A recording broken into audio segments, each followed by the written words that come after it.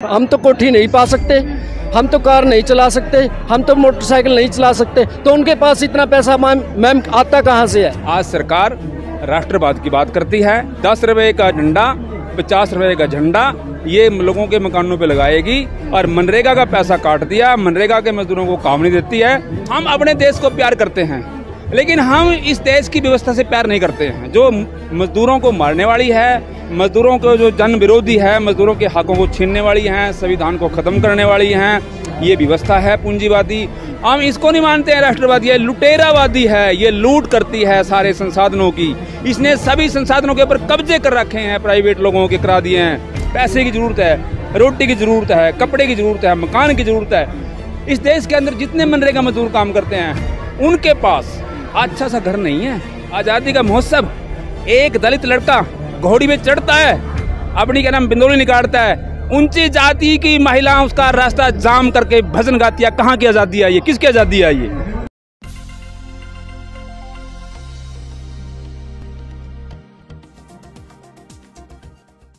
नमस्कार मैं पूजा। आप देख रहे हैं जनित आवाज़। इस वक्त मैं मौजूद हूँ दिल्ली के जंतर मंतर और दिल्ली के जंतर मंतर पर लगातार यहाँ पर अधिकार की बात करने के लिए हमेशा ही लोग जुटते रहते हैं। लेकिन ये जो लोग आए हैं ये अलग अलग राज्यों से आए हैं और इन्हीं से जानते हैं क्या कुछ इनकी समस्याएँ हैं क्या कुछ ये विरोध प्रदर्शन है क्या कुछ इनका यहाँ पर प्रदर्शन हो रहा है। तो क्या नाम है आपका? मेरा नाम सोनू राम मैं सोनू राम है मैम।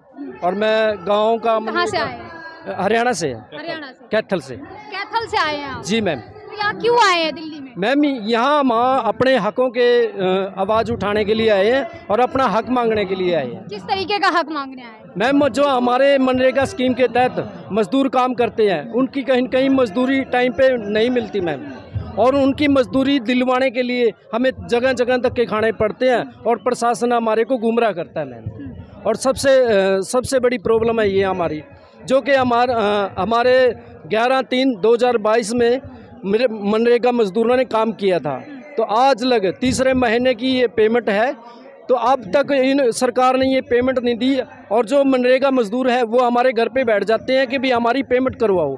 और जब हम प्रशासन के पास जाते हैं कि भाई हमारी मनरेगा मजदूरों की पेमेंट करवाओ तो वो आगे से कह देते हैं उनके पास क्या हथियार है कि हम आपने हमारी ड्यूटी के अंदर वादा डाला है हम आपके खिलाफ कार्रवाई करेंगे। कौन कहता है ऐसा? ये प्रशासन कहता है मैम। प्रशासन कहता है आपने बाधा डाली है। जी मैम। मगर आप अपने हक अधिकार की बात कर रहे हैं तो बाधा डालना हो गया। जी मैम। क्योंकि अगर आपके ऊपर कार्रवाई की जो है डिमांड कर दी जाती है। जी मैम। और मेरे खिलाफ कार्रवाई भी हुई थी मैम।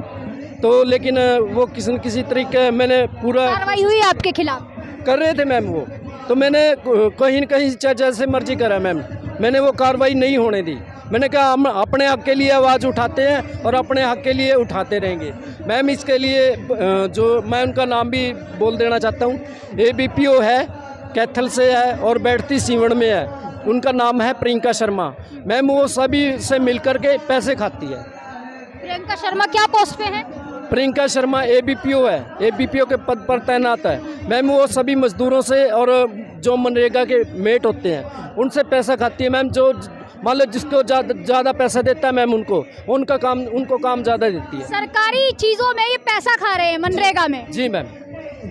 जी मैम ये आप कैसे दावे के साथ कह सकते हैं? बिल्कुल कह सकता हूँ मैम कभी गूगल पे गूगल पे करवा रहे हैं और कभी सीधा सरेआम ले रहे हैं। मैम एक बात बताओ एक सबूत है आपके पास मैम- क्योंकि न्यायालय सबूत माँगता है। मैम एक बात बताओ एक मिनट की एक मिनट की चार सौ रुपये दिहाड़ी होती है। ठीक है जी? एक मिनट के एक मिनट की अगर चार सौ रुपये दिहाड़ी होती है तो उसके पास सोलह लाख रुपये की कोठी कहाँ से आ जाती है? पंद्रह लाख रुपए की गाड़ी कहाँ से आ जाती है? क्योंकि हम तो मजदूर हैं। तीन सौ इकतीस रुपये हमारे हैं। हम तो कोठी नहीं पा सकते हम तो कार नहीं चला सकते हम तो मोटरसाइकिल नहीं चला सकते। तो उनके पास इतना पैसा मैम मैम आता कहाँ से है? क्योंकि ये मनरेगा मजदूर के कहीं न कहीं भटकाया जा रहा है और इसके अंदर भ्रष्टाचार मैम कोरा भ्रष्टाचार। कोरा भ्रष्टाचार है। कोरा भ्रष्टाचार है जी। अभी तक आप लोग प्रशासन के पास पहुँचे हैं? मैम हम प्रशासन के पास पहुँचे हैं। पत्र वगैरह दिए हैं तो क्या प्रशासन को हम प्रशासन को हमने सबूत दिए हैं। ये लोग, इन लोगों ने एक हज़ार रुपया जॉब कार्ड बनाने के लिए दिया है और मेट ने मांगा है और उन मजदूरों ने आखिर में दुखी होके पुलिस प्रशा- स्टेशन में, क्या नाम एफ़ आई आर दरखास्त दी है मेट की और मेट को भी बुलाया, हमारे को भी बुलाया वहाँ। और मेट ने, क्या नाम, पुलिस के सामने यह मान्या भी इनके मैं पैसे दे दूँगा। ये इनके पैसे में दे दूँगा।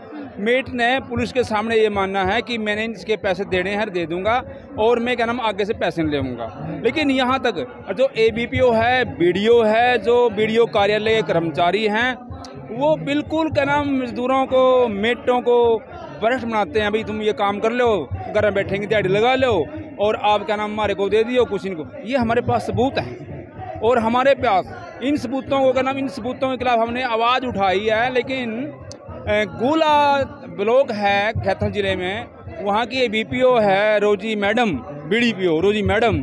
उसने हमारी एक महिला के खिलाफ करमजीत कौर के खिलाफ एफ़ आई आर दर्ज कराई है। आज भी वो कोर्ट में धक्के खा रही है। कर्मचारी? करमजीत कौर जो मनरेगा मजदूर है। करमजीत कौर जो मनरेगा मजदूर है। उसने मजदूरों की बात उठाई है। वहाँ उनको लेके गई है। उससे सवाल करें अभी आप काम क्यों देते मजदूरों को? जब क्या नाम सौ दिन का कानून बना रखा है सरकार ने और पंद्रह दिन के अंदर काम देने की क्या नाम गारंटी दे रखी है यदि गारंटी काम नहीं दोगे तो बेरोजगारी बता दोगे या तो आप इनको काम दो या इनको बेरोजगारी बता दो। मैडम कहती है मेरे पास कोई काम नहीं है मैं तेरा पैसा जानती हूँ तो क्या करती है? उसके ये वर्ड हैं मैडम के तहत काम करने वाली को बोलती है वो मैडम जी। वो मैडम बोलती है एबीपीओ रोजी मैडम बीडीपीओ मैं तेरा पैसा जानती हूँ, क्या है तेरा पैसा? एक महिला को कहती है, तेरा पैसा है, क्या मैं जानती हूँ तेरे को। और जबकि वो महिला करमजीत कौर, मजदूरों के लिए लड़ती है, रात दिन काम करती है मजदूरों के लिए।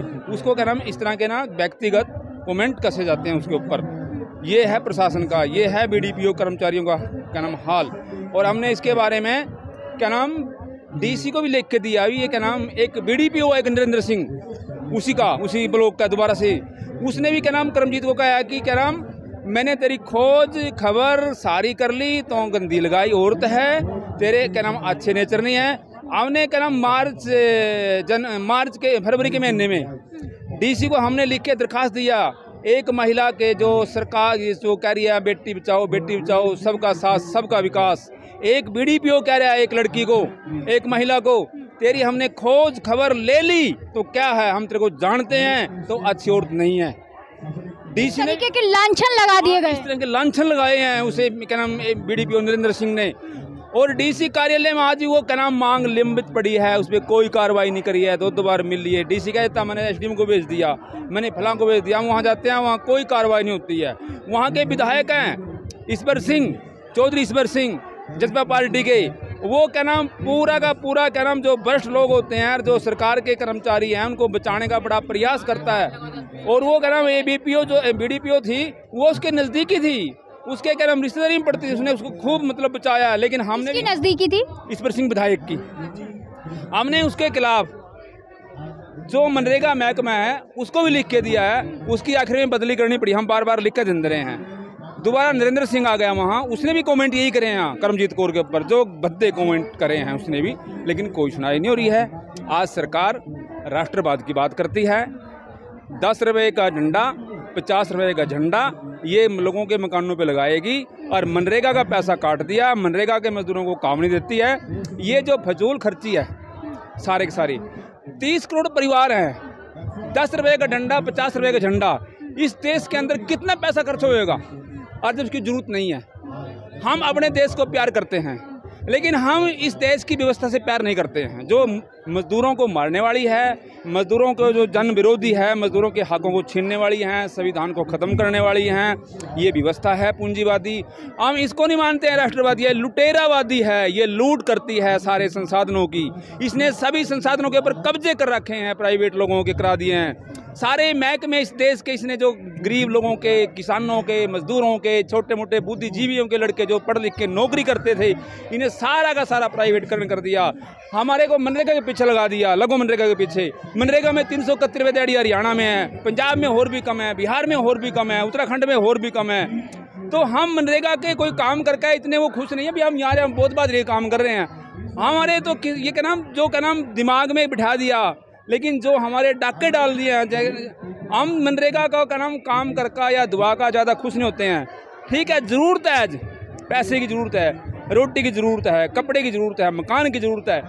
इस देश के अंदर जितने मनरेगा मजदूर काम करते हैं उनके पास अच्छा सा घर नहीं है। उनके बच्चे अच्छे स्कूलों में नहीं पढ़ते हैं। उनके बच्चों के पास शिक्षा नहीं है जो मनरेगा के मजदूर हैं सबसे कमज़ोर वर्ग क्या करते हैं? मैं मज- मैं मजदूरी करता हूँ। कितने बच्चे हैं आप? मेरे तीन बच्चे हैं। पढ़ाई कर रहे हैं? हाँ वो मैं देखिए मेरा मेरा सिस्टम दूसरा है। मैं क्या नाम थोड़ा सा प्रोग्रेसिव था। मैंने बच्चों को पढ़ाया है बच्चे क्या नाम इंजीनियर बनाए हैं। आज वो काम कर रहे हैं लेकिन मैं फिर भी चौबीस घंटे मजदूरों में रहता हूँ। मैं बत्तीस साल से मजदूरों के साथ जुड़ा हूँ। क्या नाम है आपका? जोगिंदर सिंह। कहाँ से आया आप भी हरियाणा मेरा मेरा नाम मेरा गाँव वहाँ डांड और जिला कैथल है। हाँ जिला कैथल है। तो अभी आपने कहा पचास रुपए का डंडा और झंडा। तो अ, आज़ादी का अमृत महोत्सव मनाया जा रहा है। मोदी जी ने खुद अपनी जो है वहाँ पर अकाउंट पे पिक्चर जो है बदल दी है, तिरंगा लगा दिया है। तो तिरंगा तो देश की शान है। आज़ादी का महोत्सव, एक दलित लड़का घोड़ी में चढ़ता है, अपनी क्या नाम, बिंदोली निकालता है। ऊँची जाति की महिला उसका रास्ता जाम करके भजन गाती है। कहाँ की आज़ादी आई है? किसकी आज़ादी आई है? उनके खिलाफ क्या कार्रवाई करी आज तक सरकार ने? एक दलित की, एक क्या नाम एक भारत के नागरिक की घोड़ चढ़ी निकल रही है। उसमें इस देश की जातिवादी महिलाओं ने रास्ता रोक के भजन करने लगे। उसके वहाँ क्या नाम बंदोली निकलने दिया। कहाँ की आज़ादी है? किसकी आज़ादी आई किसका महोत्सव है ये? अमृत महोत्सव किसका महोत्सव है? ये सारा का सारा पूंजीपतियों का महोत्सव है। सारा का सारा तो दलितों की मतलब दलितों दलित विरोधी है क्या? सरकार बिल्कुल दलित विरोधी सरकार है। दलित विरोधी सरकार है बिल्कुल। दलित विरोधी है तो राष्ट्रपति जी आदिवासी समाज से आती हैं। देखिए ये संविधान की देन है। यदि इससे पहले भी हमारे रा, रामनाथ कोविंद जी थे वो दलित थे। मैं कह रहा हूँ ये सभी ये संविधान देश के अंदर पूंजीवाद आया पूंजीवाद ने वादा करा था हम भाईचारा और बराबरी हम ये देंगे लेकिन ये पूंजीपति वर्ग का ये क्या नाम नकली चेहरा है सारा का सारा। नकली चेहरा है। नकली चेहरे हैं सारे के सारे। इसका क्या नाम रूप दूसरा है मारने वाला और दिखाने वाला इसके क्या नाम हाथ दूसरे हैं। इस पूंजीवादी व्यवस्था के, इस मौजूदा सरकारों के। चाहे सरकार कांग्रेस हो, चाहे कोई भी हो, ये क्या नाम, जो राष्ट्रपति हमारी जब आज ये आदिवासी बनी हैं, इसका मतलब ये नहीं है कि इनकी ये कर्म, इनकी ये क्या नाम छाया है मोदी की, इनकी क्या नाम ये, वो ये तो संविधानिक अधिकार है। और इनको अपने स्वार्थ के लिए हमारी 2024 में कौन नैया पार लिखाएगा? हमारी नैया कौन पार लिखाएगा? इतने इनके हाथ में है। राष्ट्रपति बनाने दिन के हाथ में है, इनके क्या नाम, विधायक इनके हैं एम पी इनके हैं, ज़्यादा से ज़्यादा, इतना तो कर सकते हैं यहाँ। यदि इनका ये ना होता, हो सके या फिर किसी विधायक, किसी दलित को, क्या नाम, किसी आदिवासी को, राष्ट्रपति मैदान में ना भी लाए, मान इनके हाथ में ना होता। इनके तो हाथ में ना, कर दिया। दो हज़ार पक्का कर लिया ना। आज देश के लोगों की राजनीतिक समझ कहाँ है? जातिवादी समझ है। चाहे मैं एस हूँ, या मैं दलित हूँ, मैं क्या नाम, चाहे एस हूँ, मैं भी क्या नाम, जातिवादी हूँ। मैं भी वहीं खड़ा हूँ। मैं भी उसे बाहर नहीं निकलता हूँ, बिल्कुल भी। मैंने देख लिया कि हाँ मेरा कोविंद बन गया, राष्ट्रपति, बहुत कुछ हो जाएगा। लेकिन मेरे बच्चे तो सड़ रहे हैं, मेरे बच्चे बीमारी से मर रहे हैं, मेरे बच्चे के पास तो क्या नाम, मकान नहीं है, रोज़गार नहीं है। मैं ऐसे राष्ट्रपति का, ऐसे प्रधानमंत्री का क्या करूँ मैं? मेरी ज़िंदगी में आज तक भी जो कहते हैं ना पचहत्तर साल अब आज़ादी, असली आज़ादी, अमृत महोत्सव, क्या? बसों में आज से पंद्रह साल लोग पहले क्या नाम मांगते थे? गरीब लोग भी मांगते हैं। क्या परिवर्तन लाए? क्या हमने परिवर्तन ला दिया? आज भी लोग रेलों में ट्रेनों में सबका साथ सबका विकास वाला नारा तो ध्वस्त हो रहा है क्या? ध्वंस हो गया। क्या नाम लोग आज भी क्या नाम ए, वो भीख मांगते हैं ट्रेनों में बच्चे। कांग्रेस के टाइम में भीख मांगते थे मोदी के टाइम में भीख मांग रहे हैं। कहाँ है सबका साथ सबका विकास? मैम सबका साथ और सबका नाश। सबका नाश। सबका नाश। बिल्कुल सबका साथ और सबका नाश। सबका नाश करने वाली सरकार कैसे हो रहा है? हाँ बिल्कुल हो रहा है विकास नहीं हो रहा है? नहीं हो रहा है मैम। विकास हो रहा है। विकास के नाम पे तो झूठ बोला जा रहा है मैम। मोदी जी रात को प्लानिंग बनाते हैं।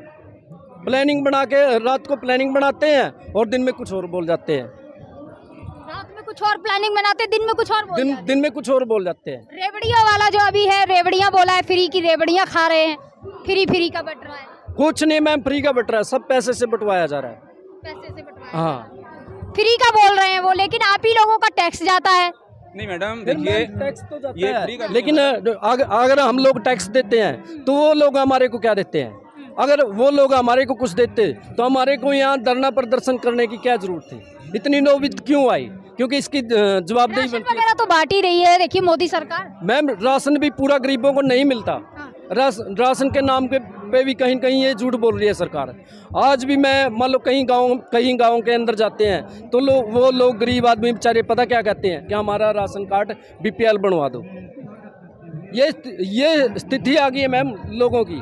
बीपीएल राशन कार्ड मांगते हैं और जिसके मैम जिसके बिल्डिंग पड़ी हुई होती है उसको राशन मिलता है। और जो गरीब राशन कार्ड। हाँ बीपीएल राशन कार्ड उसके उसका राशन कार्ड बना हुआ मैम। और जिसका जो गरीब आदमी है बेचारा मेहनत मजदूरी करता है उसका चिट्टा बना रखा है इन्होंने। वो कहते हैं तुम्हारे को राशन नहीं मिलता तुम तो अमीर आदमी हो। गरीबों को बोलते हैं अमीर आदमी। हाँ गरीबों को मैम ये बोलते हैं कि आप लोग तो अमीर आदमी हो। और जो अमीर आदमी है उनको बोलते हैं ये गरीब आदमी है। तो ये कहाँ का इंसाफ है मैम? और अगर हम दफ्तर में भी कोई काम लेने के लिए जाते हैं ना तो ये उन हमारे को ये कहा जाता है कि भाई इस बंदे को दोबारा दफ्तर में नहीं घुसने दिया जाएगा। ऐसे बोल दिया जाता है। ऐसे बोल दिया जाता है मैम। हमारे को यहाँ दप, दफ्तर में जाने तक की परमिशन नहीं होती। हमारे हमारे साथ बदतमीजी से बात करते हैं वो बदतमीजी करते हैं। अभी पिछली बारह तारीख को मैं गया उन्होंने मैम मेरे साथ हाथापाई भी की। और यह हो सकता है गए थे आप? मैं वीडियो वीडियो कार्यालय गया था। जो जेई थे पंचायत सेक्रेटरी थे और मेट थे मैम उन्होंने मेरे को मारने की और पीटने की कोशिश करी। क्योंकि मैं तो काम ये हाल है मजदूर का। ये मजदूर का हाल है मैम तो देखिए आपने किस तरीके से दुविधा है कितनी बड़ी समस्या है कि ऐसे मजदूरों के साथ मारपीट हाथापाई हो जाती है और जो गरीबों के हक अधिकार की बात करते हैं मजदूरों के हक अधिकार की बात करते हैं तो उस महिला पर इस तरीके के लांछन लगा दिए जाते हैं कि वो किस तरीके का पेशा करती है। सोचिए इसके तहत भी कानून है। क्योंकि किसी पे इस तरीके के लांछन लगा देना इस, ये भी धाराएँ लगती हैं। लेकिन आप सोचिए किस तरीके से स्थिति बन चुकी है मजदूरों की, कि सबके साथ सबका विकास का जो नारा है वो ध्वस्त होता हुआ नज़र आ रहा है। अभी इन्हीं ने कहा, सबका साथ, सबका नाश। सोचिए, आज मजदूर जो लोग हैं, वो आज आँखों में आँसू लिए यहाँ पर, रोडों पर, सड़कों पर उतर रहे हैं और आँखों में आँसू है इनके। जिस तरीके की काम है इनका, उस तरीके की इनको मजदूरी नहीं दी जाती है। लगातार इनकी ये जो हक अधिकार की मांग है, लगातार यहाँ पर राजस्थान राज्य से आए हैं, लगातार यहाँ पर हरियाणा राज्यों से जो लोग हैं यहाँ पर आए हैं। तो अभी हमने सभी से बात की, यहाँ पर मैं अगर आपको बता दूँ तो पुरुष ही नहीं है यहाँ पर। यहाँ पर महिलाएँ भी हैं जो अपने पूरे उसी वेशभूषा में आई है, राजस्थान से हैं, वो पूरी पोशाक में है, यहाँ पर महिलाएँ भी मौजूद है। सोचिए महिलाएँ जो घर गृहस्थी देखने वाली महिलाएँ हैं, उनको रोडों पर आना पड़ रहा है। अपने हक अधिकार के लिए आज लोगों को लड़ना पड़ रहा है। सोचिए, अपनी ही मजदूरी की जो कीमत है, उसके लिए इन्हें रोडों पर आकर मांग करनी पड़ रही है। उसके लिए इन्हें भीख मांगनी पड़ रही है अपने ही काम और अपनी ही सैलरी के लिए। अपनी ही तनख्वाह के लिए इन्हें भीख मांगनी पड़ रही है सरकार के आगे। हाथ फैलाकर ये लोग इसी तरीके की मांग कर रहे हैं कि हमें कुछ नहीं चाहिए, हमें सिर्फ़ और सिर्फ़ हमारी मजदूरी जितनी बनती है पर डे का आठ सौ रुपये मिल जाए, जो एक सौ चार रुपये दिया जाता है, एक दो सौ रुपये दिया जाता है, उसमें भी सोचिए काट दिया जाता है और उस पर भी इनको कोई छुट्टी जो है मनरेगा के तहत नहीं दी जाती है, सबसे ज़्यादा इनका काम इस तरीके का है कि आप अंदाज़ा नहीं लगा सकते इनके बच्चे रोडों पर होते हैं। आपने देखा होगा कितने मजदूर लोग जब बिल्डिंगें बनाते हैं तो वहीं अपना घर घोंसला बना लेते हैं, वहीं खाना पीना पकाते हैं और उनके बच्चे रोडों पर होते हैं। सोचिए ये अपने बच्चों को इतने पैसे में किस तरीके की शिक्षा दे पाएँगे? तो ये सोचने वाली बात है, क्या इस पर सरकार को सोचना नहीं चाहिए? क्या सरकार को ये सब नहीं दिखता है कि ये लोग रोडों पर क्यों उतरे हुए हैं? इसी के साथ देखते रहिए, जनित आवाज़ मेरे सहयोगी धर्मेंद्र के साथ में पूजा, जंतर मंतर, दिल्ली।